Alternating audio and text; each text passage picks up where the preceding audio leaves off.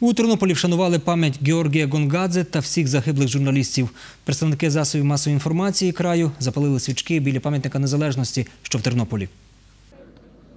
За роки незалежної України загинуло 64 журналісти. Розслідування окремих злочинів не завершене, зазначає журналіст Ігор Крочак. Вбивство в Україні, яке до сих пір так і кінця краю не поставлена крапка. От він працював на Кавказі тоді, коли бійці УНСО складали корпус Арго, допомагали грузинам. Тепер грузини допомагають нам.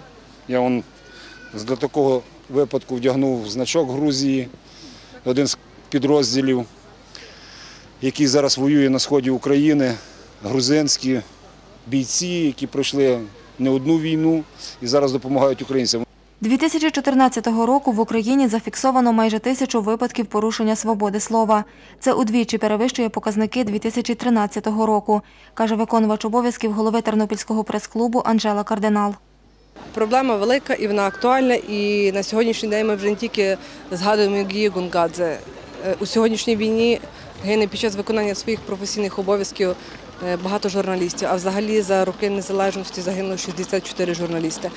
І не тільки в цей день треба поминати, але сьогодні день символічний. І е, на багатьох площах міст е, зібралися люди, журналісти і не тільки журналісти, які прийшли помінути своїх колег. Журналіст газети «Дзеркало тижня» Роман Якель каже, порушення прав працівників засобів масової інформації наразі не рідкість. В усі часи незалежності питання порушення прав журналіста були і є, залишаються актуальним, тому що порушення на кожному кроці. Останнім часом побільшало нападів на працівників засобів масової інформації. За рік у полоні було 80 українських журналістів, сім з них загинуло.